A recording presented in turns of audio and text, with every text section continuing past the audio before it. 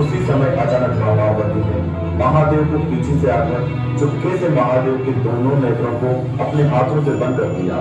दोनों नेत्र बंद होने के कारण सारे संसार में अंधकार फैल गया था और संसार में प्रकाश फैलाने के लिए महादेव ने अपना तीसरा नेत्र खोल दिया और पूरे जग में पुनः प्रकाश फैल गया।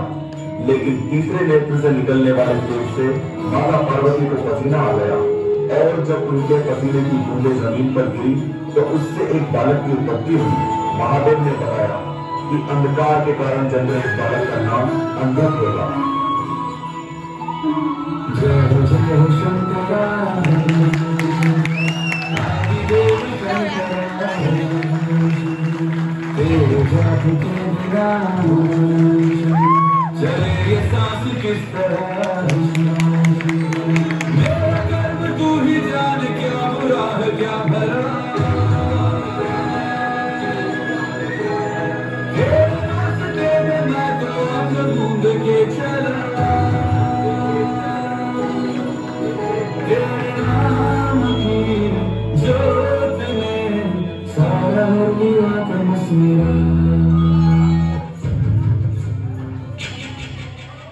बाबा बाबा आप मुझे छोड़ के तो नहीं जाओगे ना?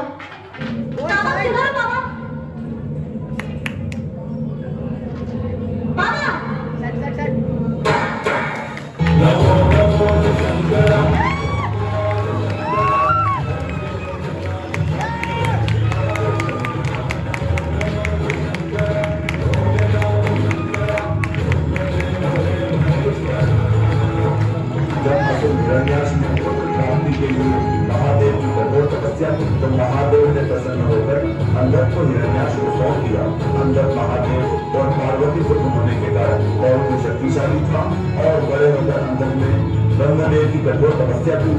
और यह वरदान मांगा कि उसकी मृत्यु सिर्फ़ तब हो जब वो अपनी ही माँ को यौन लालसा से देखे।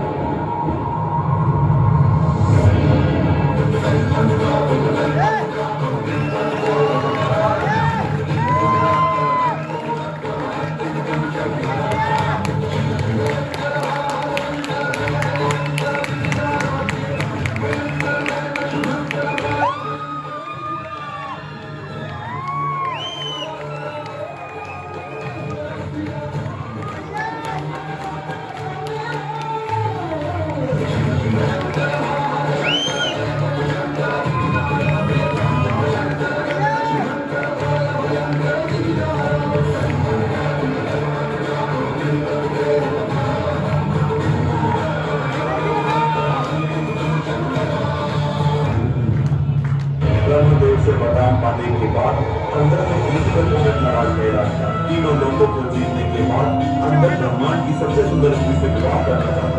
और उसे पता चला कि ब्रह्मांड की सबसे सुंदर स्त्री स्वयं माँ पार्वती ने अपने असली माता पिता के बारे में पूछ चुका अंदर विवाह का प्रस्ताव लिए, अपनी असली माँ पार्वती के पास पहुँचा और उनसे विवाह की जिद करने लगा।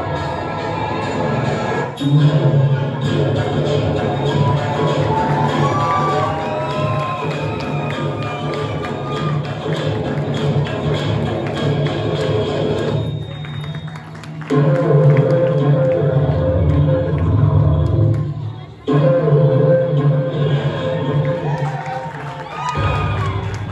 के घमंड में चूर अंदर ने माँ पार्वती को बंधन बनाने की कोशिश की। लेकिन जब माँ पार्वती ने अपनी सुरक्षा के लिए महादेव का आह्वान किया तो महादेव क्षण भर में वहाँ प्रकट होकर अंदर को माँ पार्वती के बारे में बताते हुए उसे मृत्युदंड दिया।